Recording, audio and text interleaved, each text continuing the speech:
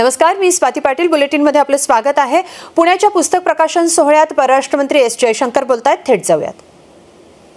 एक किस्म से सक्सेसफुल एग्ज़ाम्पल जो है, वो एप्पल का है कि भारत में अब आईफोन बन रहा है और हमारी अपेक्षा है कि ऐसे और भी के बड़े बड़े उदाहरण आगे वाले दिनों में निकलेंगे। तो जो जो किताब की जो टाइटल जो है इंडिया वे तो इंडिया वे है क्या? भारत मार्ग। मार्ग है वे है पाथवे पर ये इंडिया वे जो है, ये तरीका भी है कि इंडिया का एक वे है कि दुनिया की परिस्थिति में भारत भारत का, भारत की सोच क्या है? भारत से क्या सुझाव निकलते हैं? भारत कैसे मैनेज करता है? और एक किस्म से इंडिया वे दूसरों के लिए मॉडल है, उदाहरण। कि भारत क्या करता है और अगर वो जो हैं हमारे साथ अगर जुड़ जाए तो उनके लिए कितना लाभ हो सकता है। तो इंडिया वे इसके मैं, मुझे माने इसका अगर मैं निचोड़ निकालूं तो मैं कहूँगा इसके छह मुख्य पहलू हैं। एक है आत्मनिर्भरता, कि जब तक हम अपने पैरों पे खड़े नहीं रहेंगे तब तक हमारी जो अपेक्षा है, हमारा सपना जो है कि हम दुनिया के एक लीडिंग पावर बनेंगे। हम लीडिंग पावर तभी बनेंगे जब हम आत्मनिर्भर होंगे। जब हमारी बेसिक इंडस्ट्रीज़ हमारी मैन्युफैक्चरिंग हमारी एग्रीकल्चर हमारी सर्विसेज़ हमारी टेक्नोलॉजी भारत में रहे, भारत से बनाया जाए।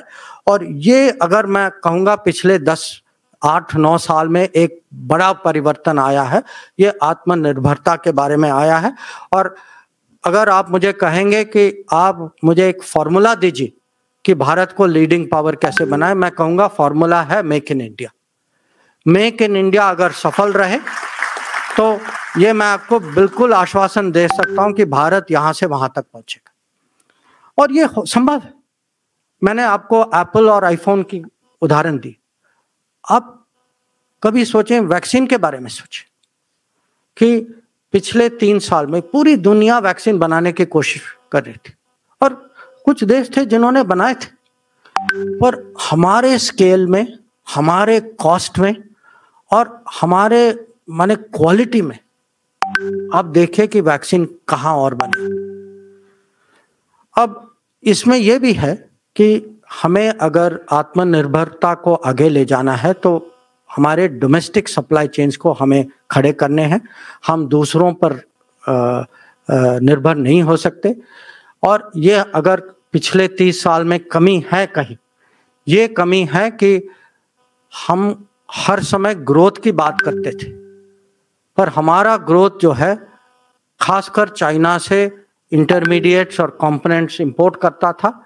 अब समय आ गया है कि हमें, हम अपनी इंडस्ट्री खासकर जो एसएमई सेक्टर e जो है, इसको पूरा सपोर्ट दें, ताकि हमें देश के अंदर जो सप्लाई चेन जो बननी चाहिए, वो बने।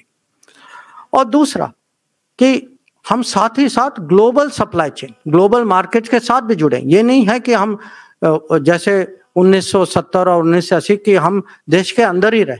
कि हम में वो क्षमता है। हमारी मैन्युफैक्चरिंग हमारी जो प्रोडक्ट्स जो हैं आज दुनिया में सक्सेसफुल हो सकती। और अगर आपको इसका उदाहरण चाहिए तो आप देखिए दो दिन पहले, जो रिपब्लिक डे में जो परेड जो हुआ था, अभी तक हम देख रहे थे कि ज़्यादातर जो भी परेड में जो हथियार, जो जो प्रदर्शन, जिनकी प्रदर्शन होती थी, इस बार आप देखिए उनमें से कितने ऐसे चीज़ें थी, ऐसे प्लेटफॉर्म्स थी, जो भारत में बनी थी। और मुझे पता उनमें से कुछ तो पुणे में भी बने थे। दूसरा पहलू जो है, आत्मनिर्भर के बाद आत्मविश्वास का। क्योंकि जब तक देश में आत्मविश्वास नहीं है, वो देश जो है, वो कॉम्प्रोमाइज करता जाएगा। कि कभी कभी और ये, जो जो ग्लोबल पॉलिटिक्स और हर पॉलिटिक्स में कभी कभी कॉम्प्रोमाइज करने की ज़रूरत है। पर अगर हमारी आ, हमारी अपेक्षा है हमारी एक किस्म से अम्बिशन है कि हम दुनिया में बढ़े तो हमें कभी कभी ऐसे समय आएँगे जहाँ जब चुनौतियाँ ऐसी चुनौतियाँ आएँगे जहाँ हमें उसका सामना करना पड़ेगा। और उसका उदाहरण देवेंद्र जी ने दिया। अब आपको सब जानते हैं कि यूक्रेन के बारे में हम पर कितना दबाव था।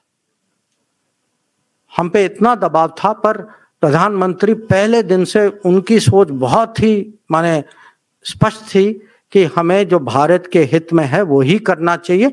और जब किसी भी विदेश मंत्री को इतनी स्पष्टता से आदेश मिलती है तो मैं आपको कह सकता हूँ कि मेरा काम बहुत आसान था। और ये खाली यूक्रेन का मामला नहीं। अगर आप कभी कभी अब आ, हर देश जो है हमारे देश हम सब हथियार लेते हैं दूसरों से।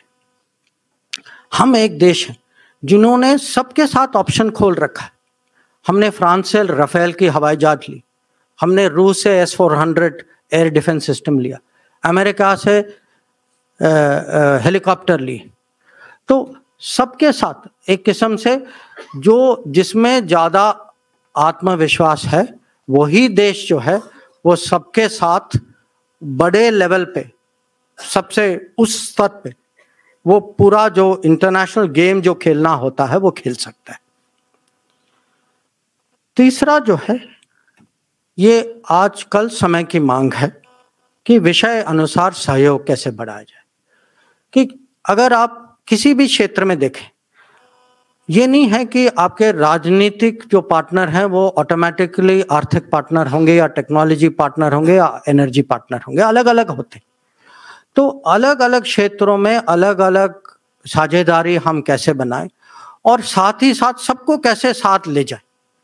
और क्या होता है, इसमें भी कभी कभी दबावें आती।